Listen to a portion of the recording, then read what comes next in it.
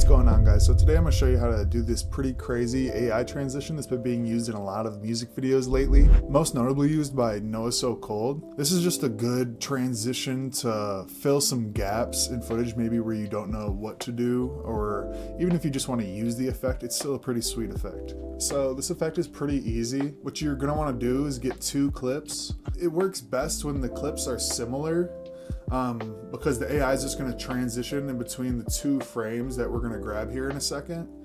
Uh, so when it's similar, it's just easier for AI to read kind of where it's going to want to move the camera. Um, and if that doesn't make sense now, you'll see what I mean in a second.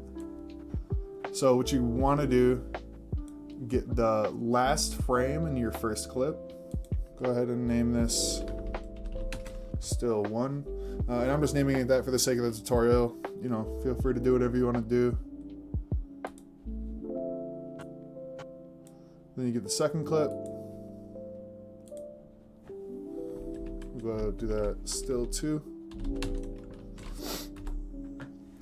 Okay, and again, like I said, it's the same scene, just a different angle. So now once you do get your uh, two clips, go ahead and open up your browser and in the browser you're want to type in Kling AI.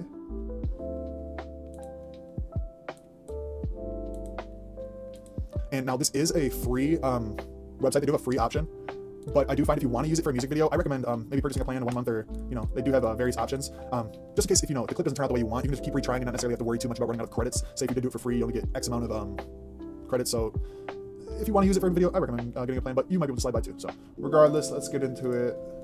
Then you're going to go over here to AI videos because we are doing a video. You're going to click frame one. That's our first uh, clip that we're trying to transition from. And once that's uploaded, it's going to give you the option to add an end frame. We're going to go ahead and click that. Frame two. Our first frame and our uh, second frame that we want AI to transition to. And again, like um, similar scene clips are going to transition the best because it's just a natural uh, transition. And now here in the prompt, um, this is kind of where you can be a little bit more specific with AI as far as how you want uh, things to transition.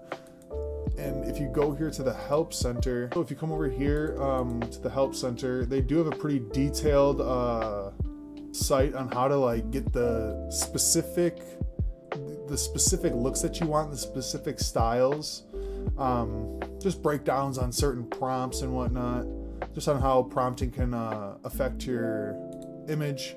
But I find the best luck with what I'm going for, just a natural transition in between two clips. I don't really put anything in the prompt. Uh, I kind of just leave it to AI to be creative. I push it down, push the relevance and creativity um, meter down to 3.5, so it's a little closer to creativity. So it gives AI more freedom to navigate on what it thinks the most seamless transition will be. I feel when you put too much prompt in or we get in the way of it too much, it's it just kind of constricts AI. So I kind of just let it like to let it do its own thinking. Now, if you don't have a, uh, a payment plan or credits, you will generally be in the standard mode um, and that will more than likely be in Kling 1.0, but they do work like the exact same way. So this will be the same exact way for Kling 1.0 if you're not in Kling 1.5. So don't worry if you're watching this. Um, the steps are the exact same. Now, motion brush again. I don't mess with this either. Um, just controls the movement of objects and how you kind of like want things to move, but I don't, again, I don't mess with that. I leave it up to AI. I just find that I have my best luck with that. And for professional mode, just richer details, superior quality. It's just like that. Very high quality uh, transition uh, compared to the standard mode. So, and then the duration, five ten seconds. I find for the um, transitions that we are going for, five seconds will be sufficient because we are speed ramping through the transitions too in the second part here. So the longer it is, it's just it'll be more clunky in a transition aspect. Now, negative prompt, what you don't want to see in your image. So I generally put low quality um, so that it maintains a higher quality throughout the transition so it doesn't get like too blurry or whatnot.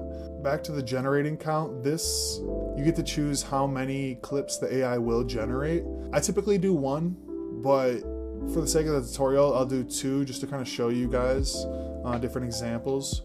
And then when you're ready, generate. And this is going to take a little bit of time, so in the meantime, do whatever you want to do. Go take a bathroom break. Keep sequencing your uh, music video or whatever you're working on. So, yeah, it's not the prettiest transition, but when it's sped up fast, you won't really notice how it looks like it's from The Hills Have Eyes or something. So this one's pretty smooth.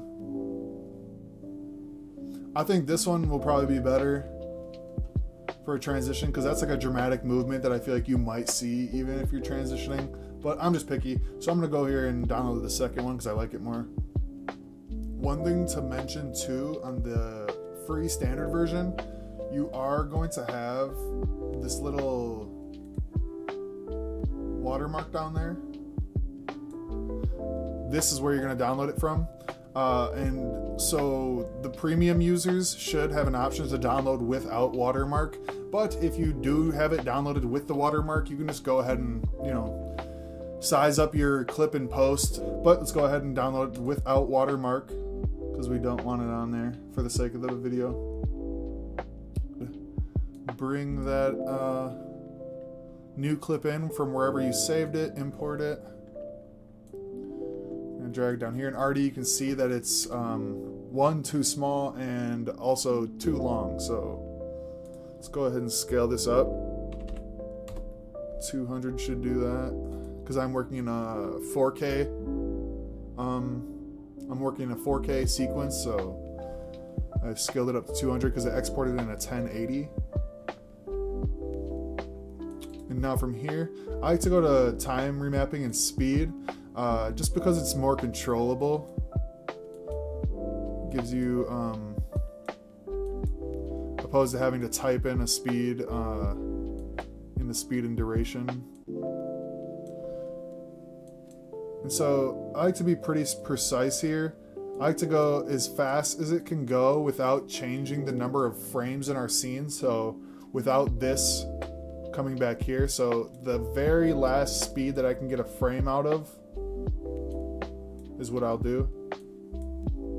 So we want the very last frame so that it's almost like a match cut effect through this and our um, new clip. So just speed it until you get um, all your frames out of there. So yeah, that's pretty cool. That's a pretty cool transition.